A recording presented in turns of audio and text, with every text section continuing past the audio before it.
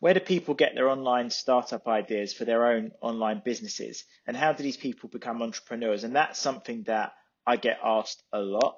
And I know lots of people are asking for because there's tons of people searching for it. Now, when people are thinking about starting up their own online business, sometimes it's a bit, it's, it's a bit sort of unnerving to think that there are types of people who are typing in things and just looking for what is the most profitable business idea. And I guess where do startup ideas come from? It's probably a better question. Okay, because some people must think that you know entrepreneurs are just born with this innate talent where they just have all these ideas that were given to them at birth, and that for some people, you know, perhaps they weren't born with those ideas, so they don't have them. Now, the chances are you probably do already have ideas, and you probably have had loads throughout your throughout your life, but you've just never done anything with them. Now, I'm going to give you an example of that, and it's something that I actually sort of moved forward quite quite to an advanced stage. This is when I was much much younger. You know, we're going back to the early 2000s here, and I thought of an idea of a company that I was going to call Execucar, and it's actually a business plan that I keep to this day. It's it's it travels everywhere with me. It's one of the things I don't throw away to remind me of one of the biggest regrets, one of the biggest mistakes I ever made as an entrepreneur or as one who didn't become an entrepreneur. Now that Execucar business was effectively Uber, but three years earlier. Now that came about from getting ideas from there was some new emerging technologies which are not new now, but back then they were new of moving map technology that was being introduced to mobile devices not mobile phones back that at that time, but mobile devices. And they were predicting, I was in a media studies class and they were predicting that actually mobile phones would be having these moving map devices with GPS in there. Now I coupled that with a common problem that I had. In fact, I don't know who I thought I was at that age. I used to get taxis everywhere.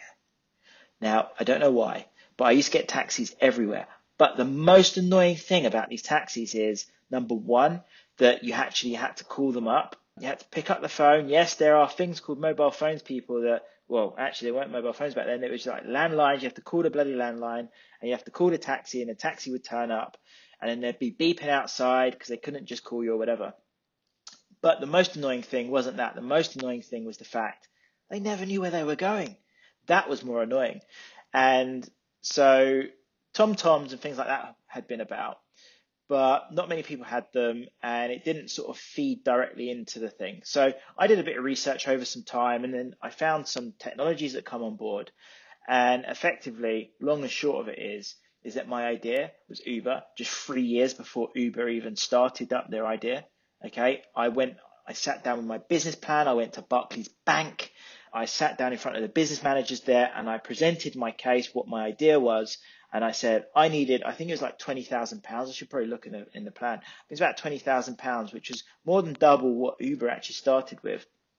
And I wanted to use that to be able to create, create the application and then see about rolling that out across some of the local cab firms. Now, that was a problem. Well, that wasn't the problem. What the problem was is that I then told my family and friends about all this.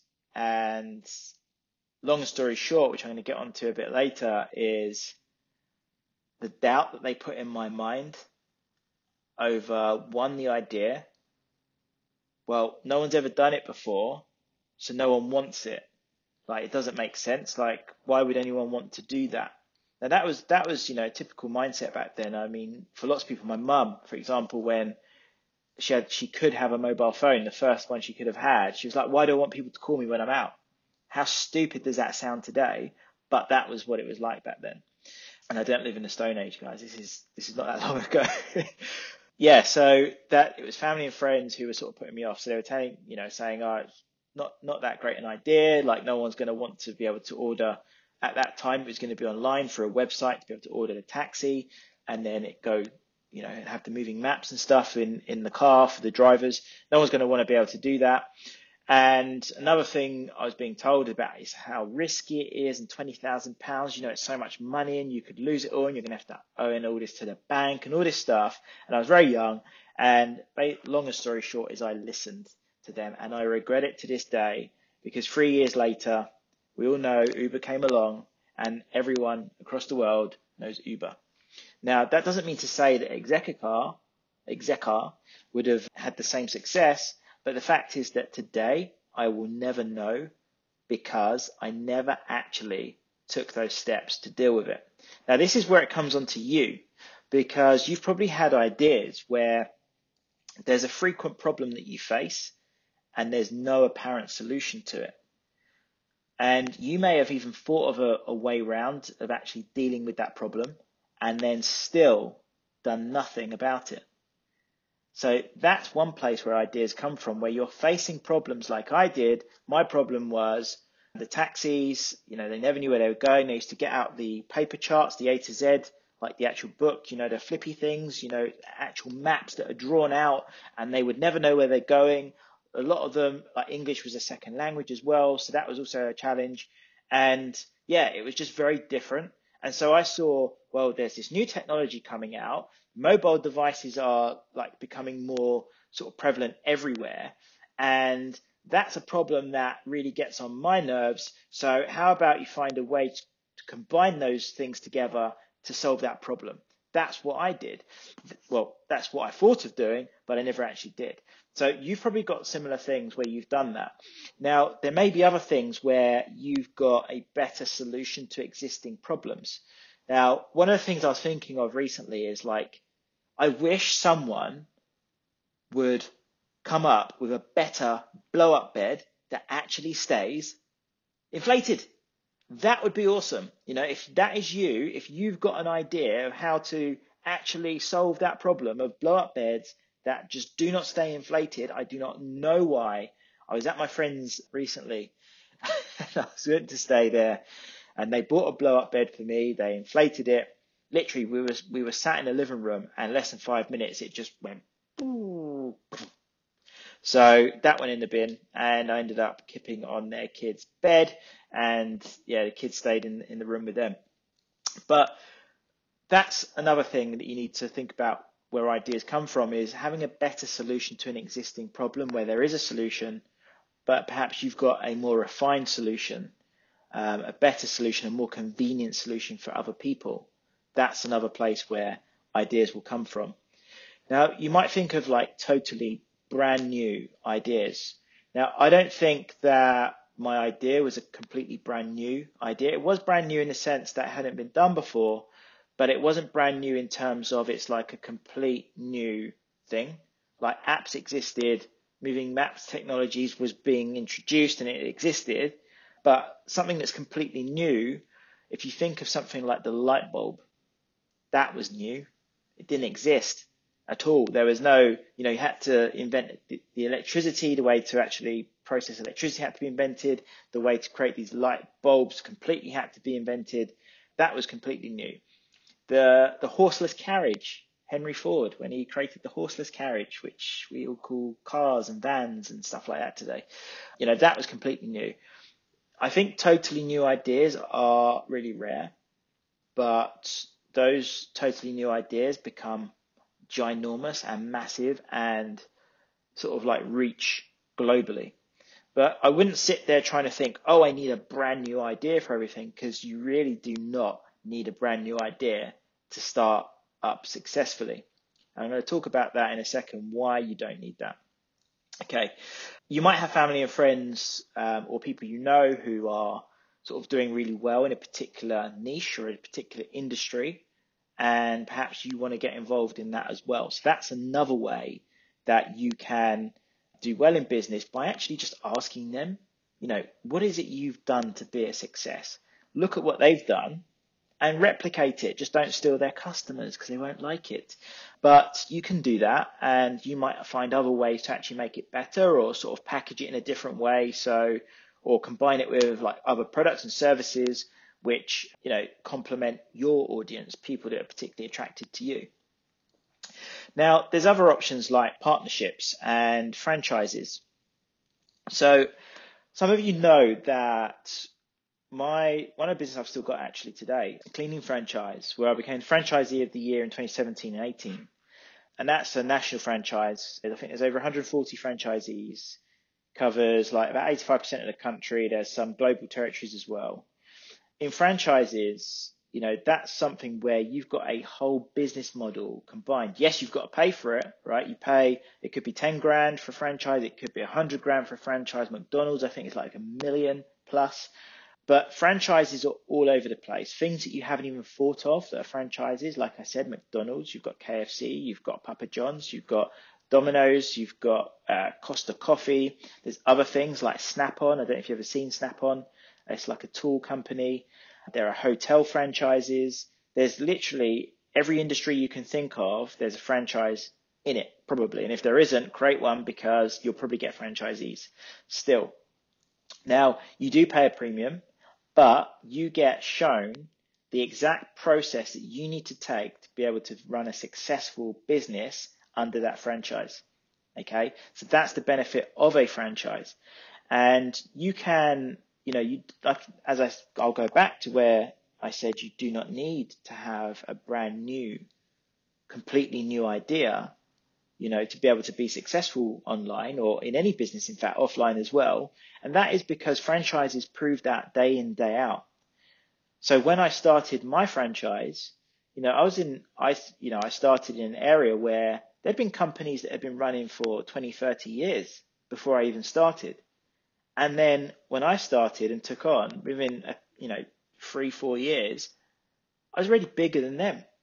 So it doesn't necessarily mean that you need to have a completely brand new idea. I just did things slightly differently because I, I, I trial and error a lot of stuff, but it cost me a lot of money still, even though I was in a franchise because I tried lots of different things and I actually won the franchisee of the year award because of all of the strategic stuff that I did with that and all of the, the testing and tweaking and all the ideas that I implemented brought into the franchise, like automated payments, online bookings, for example, which they which they didn't have, and now it's pretty normal across the industry. And then there's affiliate programs. So if you don't actually want to run the business, you don't want to be providing the end product or service, but you just want to do the sales part, get paid for that sales part, and then do nothing else. Affiliate programs are great, right? So my business, aaronhenriques.com, for coaching and for our search engine optimization. So online courses, online startup training guides, and search engine optimization services. We have an affiliate program and that can pay you up to 50% commission on the sales. For our search engine optimization at the moment, we pay 15% every month. Now most clients will stay for more than a year. So that could mean that you're, you, you could be earning sort of like 300 quid, 350 quid or more per month, every month for referring one customer. Now you build up 10 of them, you've now got a decent wage. What if it's 50? You see what, you see where I'm going there? So if you've got an audience in an affiliate program, I mean, you can join my one if you want. You know, you can apply to join our one. It's aaronhenriques.com forward slash affiliates. I'll put the uh, link below in the show notes as well. But yeah, you know, there's affiliate programs all over the place. There are plenty of people who've become highly, highly successful just through running affiliate programs. And it's not even their idea, right? They haven't got the idea for the product or service. They don't even need the idea. They're just leveraging on other people's ideas, selling it and making a cut for themselves. Okay. So that's another thing that you can do. Now, what I would recommend though, I would always recommend that if you're starting a business, particularly if it's not in a, if you haven't got a defined business model like a franchise, or if it's not an affiliate program, if you're starting a complete brand new business, that you do it in something that you'll enjoy. Okay. And that is because it's not as easy as many people make out. It's just a fact. You know, you see all these people where they're like zero to six figures in six weeks. Amazing. No, no. For most of them, it's a lie. They, they've, they what they don't tell you is they don't tell you all the hard stuff that they've had to go through, the sheer amount of money they've had to go through. If they haven't had like online coaching or eh, online coaching, just coaching in general, if they haven't been mentored by someone who already knows what they're doing to give them that sort of head start where they've paid a lot of money for that, the chances of them just throwing up a website and here's my here's my business for the fresh entrepreneur is very slim for them to have that success in that way. But people don't advertise their their you know the hardships as well, and there are hardships, and that's why it's always recommended if you are starting out that you actually go and get a a coach or a mentor to sort of help steer you and help guide you. You know, my first business after the franchise, obviously when I bought a franchise, I paid a lot of money to get into that franchise. And then you get that mentorship within the franchise. But my first business outside of the franchise, it was in a different industry. Okay. It was a different industry that I didn't fully know, but I enjoyed it. I really enjoyed that, the industry. And so I went and paid and got a mentor, got, well, it was a coach, sorry, who worked with me for a few months on starting up.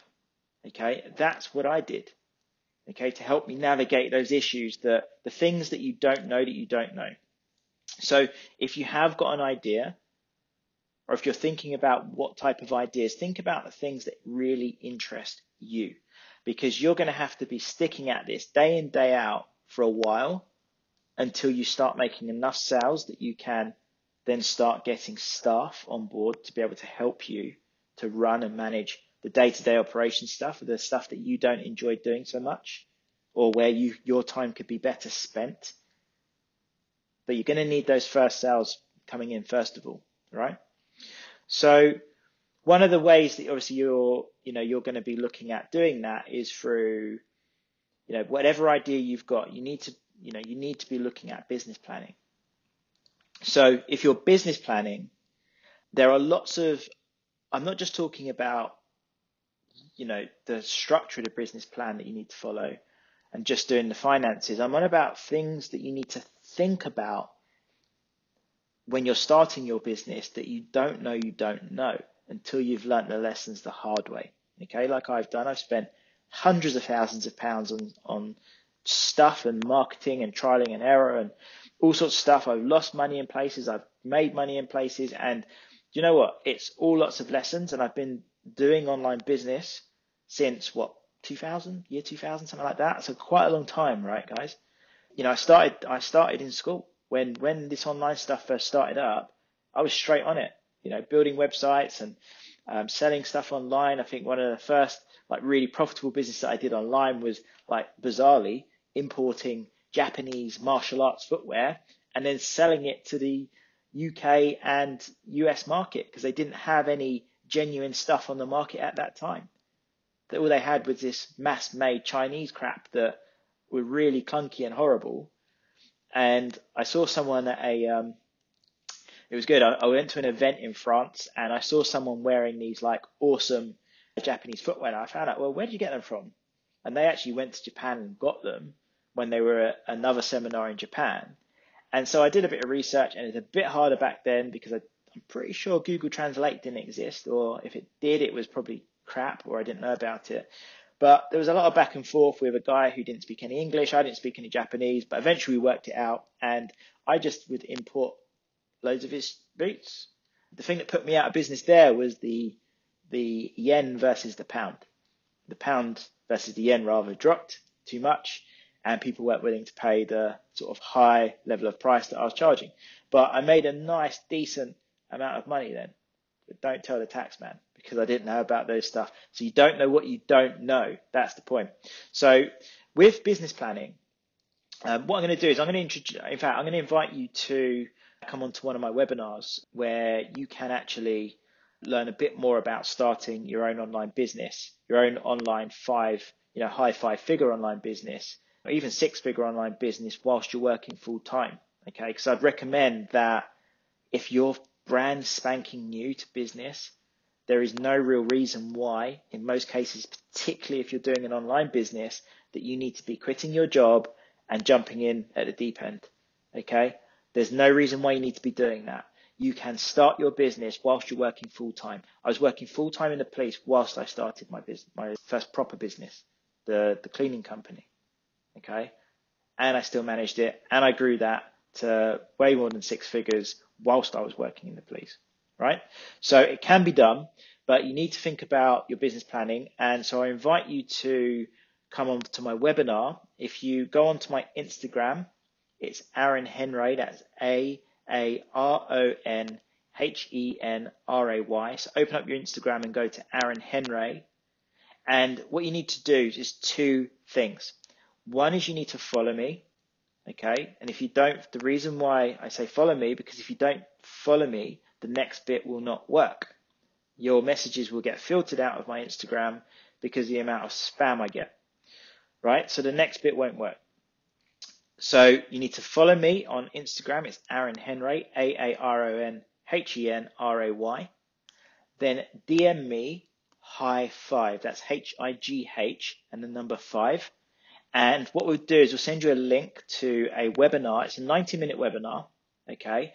But it's going to talk about how I got to, and you'll hear about Execucar as well, again in that webinar, but it'll talk about how I got, you know, how I started a high five and six figure online business whilst working full time and show you examples of other people as well who've managed to do the same thing. Okay. It is possible, guys. All you need is that idea first of all. Okay. You need to get that idea first of all.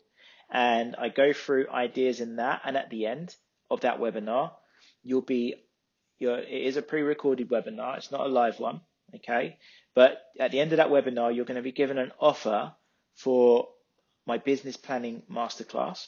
And that covers a lot more in depth about particularly the things that you don't know that you don't know.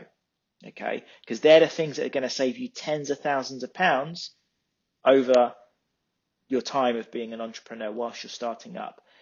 That stuff there, had I known what I knew now, but back then, my journey would have been a lot shorter. I'd be much further ahead now because it's like a compounding effect when you're when you're doing your businesses. You know, it's you you compound on each other over over time. So if I would have got to that stage earlier and spent a lot less money and not wasted so much money and saved so much of my time, you know, that would have massively helped me today. And who knows where I'd be now. So two takeaways from today is one is if you've got an idea, really explore this idea, really explore its viability and you explore its viability by having a solid business plan. So that's why I've invited you to the webinar. If you don't want to hear the webinar, you can go direct to my website, aaronhenriques.com. In fact, I'll just put the link in the show notes. You can go direct to the website and it's aaronhenriques.com forward slash plan. And you'll be able to get access to the business planning masterclass immediately. Or if you want to go onto the webinar, it's 90 minutes long. Okay. However, you're going to get a lot of value just from that webinar. Okay. You'll get a ton of value just from that webinar. So you need to take away the fact that if you've got an idea, run with it, you know, at least explore it. Okay. At least explore on pen, you know, put pen to paper, you know, get your business planning sorted out and actually think about this. Is this actually a viable idea? Is this a viable business? Because it can do two things for you. One is it can show you, yes, it is but it can also show you no, it's not in the way that you were going to run off with and, and launch without a plan. And it allow you to tweak it or completely go back to the drawing board and start with something else. Okay. So that's, that's the first thing. And the second thing is ignore your friends and family advice. They, they mean well, but unless they've actually done online businesses themselves or created their own online businesses, then they're probably not that great, probably not you know, the type of people that you want to be listening to, because all they'll do is put doubt into your mind, stop you from doing the thing that could really be a success. And it's not just a success for you. The things that you create help other people. That's what it is.